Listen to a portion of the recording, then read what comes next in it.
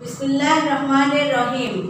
আসসালামু আলাইকুম আমি রোকসানা পারভিন, সহকারী শিক্ষিকা সোলাইমান কিন্ডার গার্ডেন সুপ্রিয় চতুর্থ শ্রেণির শিক্ষার্থী বন্ধুরা, তোমরা সবাই কেমন আছো? আশা করি আল্লাহর রহমতে ভালো আছো। আলহামদুলিল্লাহ, আমিও ভালো আছি। আজ আমি তোমাদের বাংলা ব্যাকরণ বই থেকে পদ, বচন কাকে বলে, বচন কত প্রকার ও কী কি এই প্রশ্নটি শেখাবো। তোমরা সবাই মনোযোগ সহকারে আমার সাথে শুনবে এবং ভালোভাবে বুঝে নেবে। তাহলে চলো, শিক্ষার্থী বন্ধুরা, আমরা বোর্ডের দিকে লক্ষ্য করি। সোলাইমান কিন্ডার গার্ডেন শ্রেণি চতুর্থ, বিষয় বাংলা। প্রশ্ন, বচন কাকে বলে? বচন কত প্রকার ও কি কি? প্রত্যেক প্রকারের সংজ্ঞাসহ উদাহরণ দাও। আবারও বলছি প্রশ্ন, বচন কাকে বলে? বচন কত প্রকার ও কি কি? প্রত্যেক প্রকারের সংজ্ঞা সহ উদাহরণ দাও। উত্তর, বচন। বচন অর্থ সংখ্যা। যে পদ দ্বারা কোনো ব্যক্তি, বস্তু বা প্রাণীর সংখ্যা বোঝায়, তাকে বচন বলে। যেমন, ছেলেটি, পাখিগুলো ইত্যাদি। বচন দুই প্রকার, যথা এক বচন।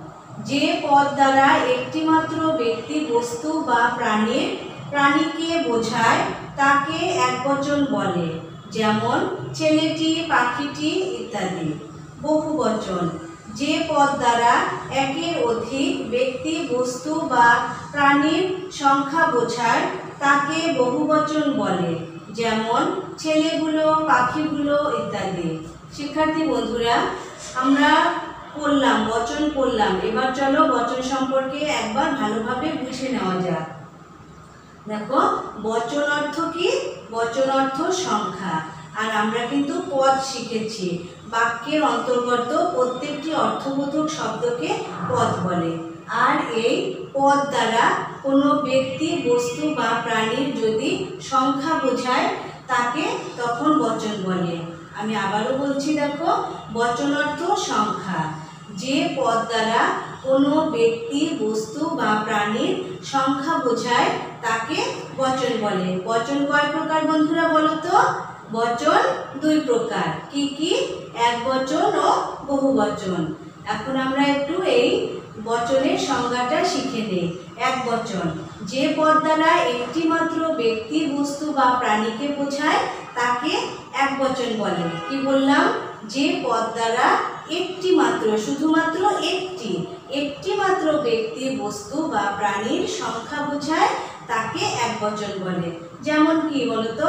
ছেলেটি, এখানে টি দ্বারা একটি মাত্র ছেলেকে বোঝানো হয়েছে। পাখিটি, বইটি, এটা টি, তাহলে একটি মাত্র সংখ্যা বোঝাচ্ছে যে একটি বই।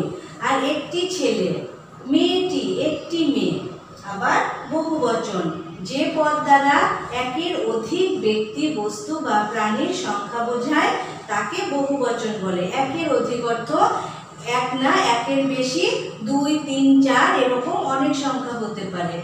যেমন কি, পাখিগুলো, মেয়েগুলো, ছেলেগুলো। তাহলে যে পদ দ্বারা একের অধিক সংখ্যা ব্যক্তি বস্তু বা প্রাণীর সংখ্যা বোঝায় তাকে বহুবচন বলে। তাহলে বহুবচনের উদাহরণ কি? ছেলেগুলো, পাখিগুলো, মেয়েগুলো, বইগুলো ইত্যাদি সব কিছু একের অধিক বুঝালে সেটা বহুবচন হবে। শিক্ষার্থী বন্ধুরা, আমরা বচন সম্পর্কে ভালোভাবে বুঝে নিলাম। শিক্ষার্থী বন্ধুরা, তোমরা তো জানো সুলাইমান কিন্ডার গার্ডেন এমন একটি শিক্ষা প্রতিষ্ঠান যেখানে সবকিছু শ্রেণীতে শিখিয়ে দেওয়া হয়। এখানে কোনো বাড়ির কাজ দেওয়া হয় না। তাহলে শিক্ষার্থী বন্ধুরা, আমরা যদি বচন সম্পর্কে আরও একবার ভালোভাবে পড়ি, তাহলে কিন্তু এখানে শিখে ফেলতে পারব। তাহলে চলো আরেকবার পড়ি। প্রশ্ন, বচন কাকে বলে? বচন কত প্রকার ও কি কি? প্রত্যেক প্রকারের সংজ্ঞা সহ উদাহরণ দাও। উত্তর বচন। বচন অর্থ সংখ্যা। যে পদ দ্বারা কোনো ব্যক্তি, বস্তু বা প্রাণীর সংখ্যা বোঝায়, তাকে বচন বলে। যেমন, ছেলেটি, পাখিগুলো ইত্যাদি। বচন দুই প্রকার, যথা এক বচন। যে পদ দ্বারা একটিমাত্র ব্যক্তি, বস্তু বা প্রাণীকে বোঝায়, তাকে একবচন বলে। যেমন, ছেলেটি, পাখিটি ইত্যাদি। বহুবচন যে পদ দ্বারা একের অধিক ব্যক্তি বস্তু বা প্রাণীর সংখ্যা বোঝায়, তাকে বহুবচন বলে, যেমন ছেলেগুলো, পাখিগুলো ইত্যাদি। শিক্ষার্থী বন্ধুরা, আমি আশা করছি আমি তোমাদেরকে পেরেছি এবং তোমরাও ইতিমধ্যে বচন সম্পর্কে শিখেও নিয়েছ। তাহলে শিক্ষার্থী বন্ধুরা, আজ আর নয়, দেখা হবে পরবর্তী পাঠে ইনশাল্লাহ তোমরা সবাই ভালো থাকবে, সুস্থ থাকবে ও নিরাপদে থাকবে।